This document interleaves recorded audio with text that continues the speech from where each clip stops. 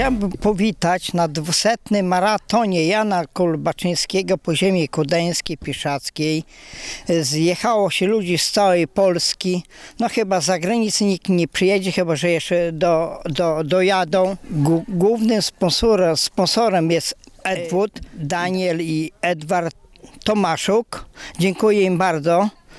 No i pogoda jak jest, to jest. No i tam władze nie pozwalali mi zorganizować ten bieg. Trudno, ale była karetka pogotowia, była mierzona temperatura, była dezynfekcja rąk wszystkich. Ja nie chyba, chyba 100 osób wystartuje. Jak wygląda trasa?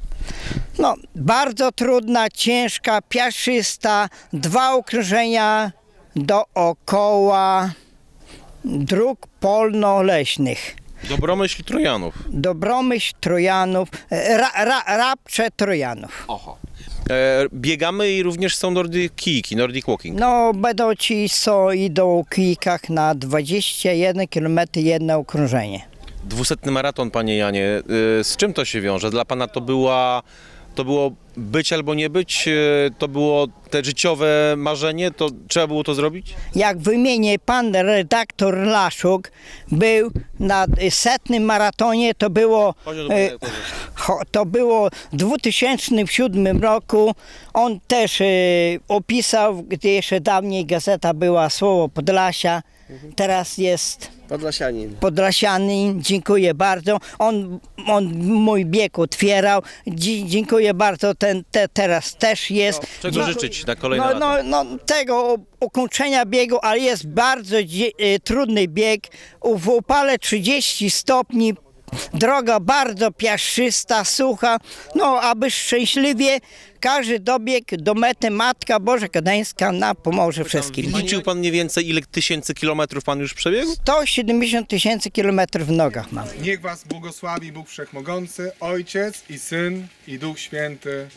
Uważam dwusetny maraton Jana Kublaczyńskiego za otwarty. Brawo! Uwaga!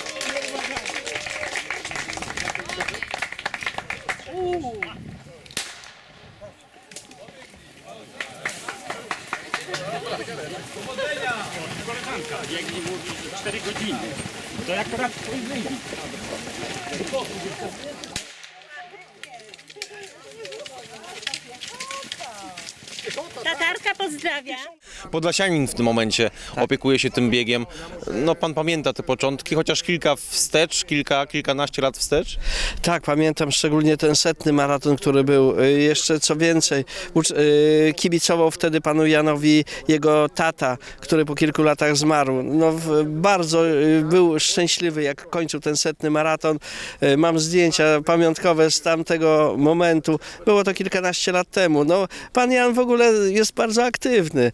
I dla mnie, dla niego życie to jest bieganie. I im dłużej będzie miał zdrowie i dłużej będzie biegał, tym lepiej mu się będzie i łatwiej żyć. Ja mu bardzo kibicuję od wielu, wielu lat. Zresztą wszyscy chyba kibicują, bo to jest e, ewenement. To on sprowokował bieg Sabiechów.